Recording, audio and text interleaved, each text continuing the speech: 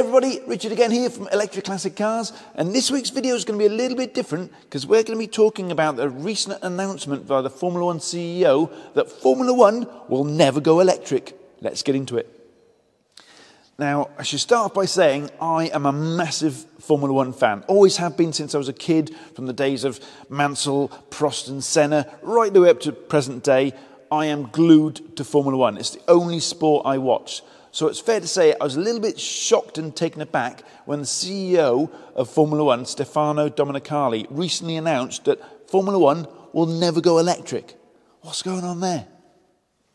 Now, here in the workshop, I'm surrounded by some of the stalwarts of Formula One um, companies like Ferrari. I've got a Mercedes over there, a Porsche, Maserati, Aston Martin, for instance. They have uh, either presently or in the past been at the pinnacle of motorsport. And so is Formula One, or so it should be. And this is my concern about that statement, because the last few years, Formula One has not been at the pinnacle of automotive engineering. If you went into any R&D department of, you know, the, the big manufacturers, you wouldn't find them working on combustion engines anymore. They're all concentrating on electric drivetrain and have been for some years. So that means that Formula One has decoupled itself from being at the pinnacle of automotive engineering for the past few years. And this last statement now from Stefano has actually put a flag in the ground to say they're going to continue down the whiz pop bang of burning fossil fuels or, or synthetic fuels. and let's get into synthetic fuels later. And that's a shame because I think what they've done there is they've consigned Formula One down to be literally uh, like a historic racing series because you know the big manufacturers are going electric, but Formula One is continuing down combustion engines. Why? So let's have a chat about some of the reasons I've seen in the press as to why Formula One isn't going to go electric. And we'll start off by well, the elephant in the room, batteries and the energy density of batteries. It's fair to say that you're not going to get a battery into a Formula One car that's going to be able to do a whole race. No chance, not with today's technology.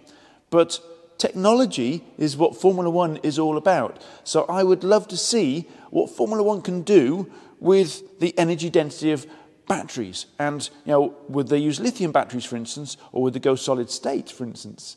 Um, and on regenerative braking, would they stick with a normal sort of battery system or would they go with, say, supercaps, which can uh, absorb energy really, really quickly for um, deceleration and regenerative braking? So putting batteries into such a you know, development rich environment as to Formula One, I think would help the evolution and the development of battery technology.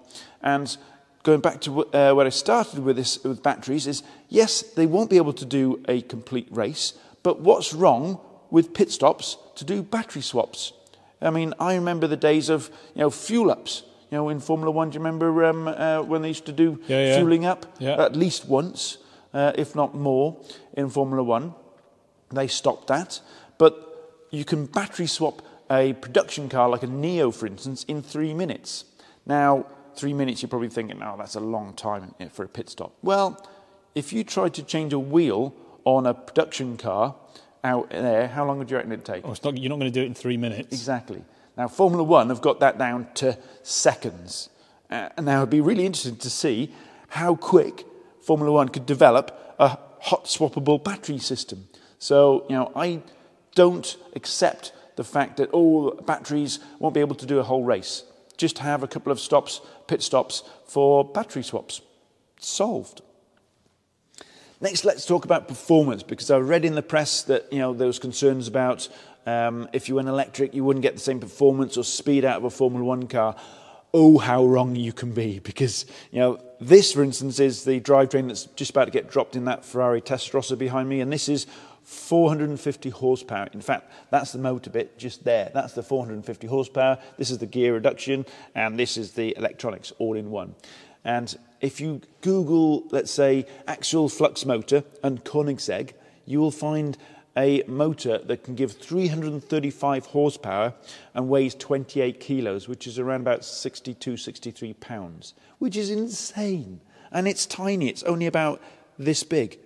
So imagine one of those, or two of them even, in a Formula One car, what it could do.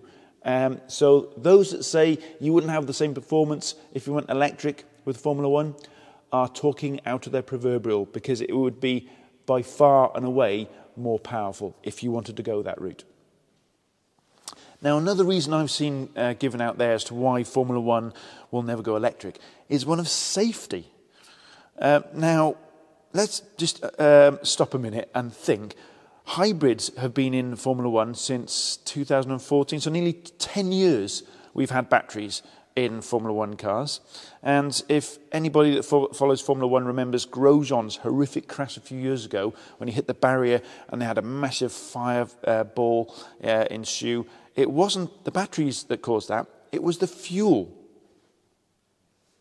So, what do I really think is going on here with that decision? Um, well, it comes down to a number of things, I think. Number one is money.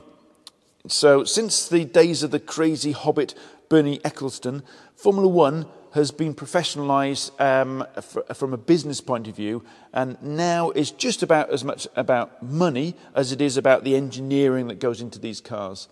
And that is a problem because the sponsorship, you've got companies like Aramco, for instance, oil industries, etc., are putting a huge amount of money into Formula One. What's going to happen with that when it goes electric? So there's a huge concern about the business and money side of things if EV, uh, if Formula One goes electric.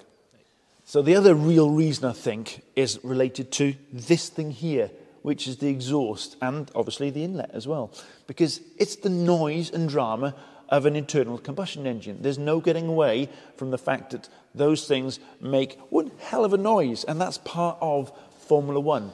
And me and Tim are old enough to remember the naturally aspirated uh, Formula One engines in the, in the 80s, and then it became turbos, and then turbo hybrids, and each stage the noise got muffled a little bit more. Uh, and obviously, electric, that noise is it's not going to go completely away, it's just a different noise.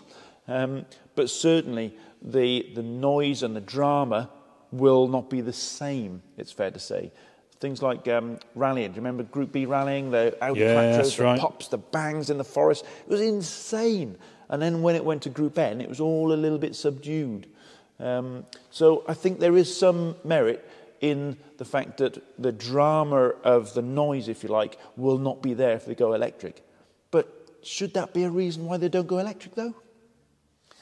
So, what's Formula One going to do if it doesn't go electric? Well, it's simple. It's committed itself to sticking with a good old fashioned internal combustion engine and the use of synthetic fuels. Now, I'm not going to go into the details of why synthetic fuels are a stupid idea. If you want to know about that, click on the link above because we've done an episode on that previously. But it kind of ticks all the boxes for Formula One because it keeps the fans happy because you're still going to have the noise of the engine with synthetic fuels. And it keeps the sponsors and the money flowing as well because you know the oil industry sees synthetic fuels as a complete shoe-in for fossil fuels because essentially it's still a hydrocarbon-based fuel. It's still going to go out to refineries to get made, um, petrol stations, etc. So they're pushing it in a big way. So it kind of ticks all the boxes for Formula One. But is that really a good idea? Now, we can't do this episode without mentioning Formula E, because Formula E is an electric only single seater race championship. It's been around since 2014. Fantastic to watch. Since 2020, it's had the FIA World Championship status as well, which puts it on par with Formula One.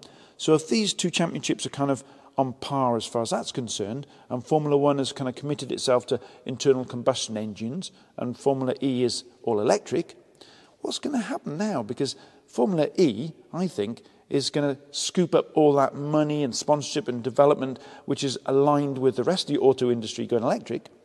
What's going to happen to Formula One? Now, me and Tim were at the Goodwood Festival of Speed last year, and we were in the crowd when we saw something insane happen.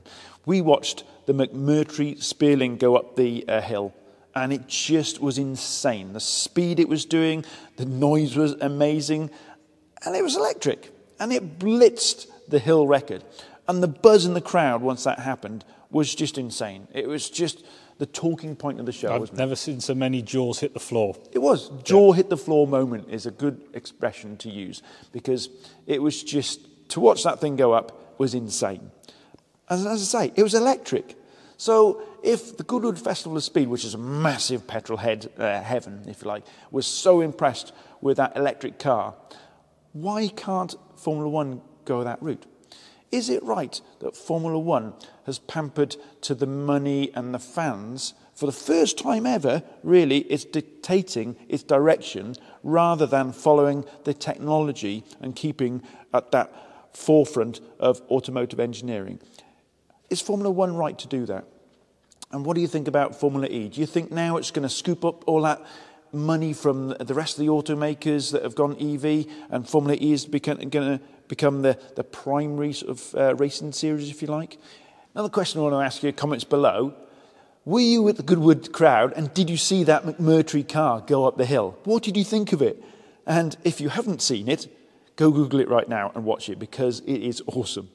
But the main question I want to ask you is do you agree with Formula One's decision to stick with the internal combustion engine? Or do you think they should follow the rest of the auto industry and go down the electric route? Comments below. And on that note, I hope you enjoyed this episode and we'll see you on the next one.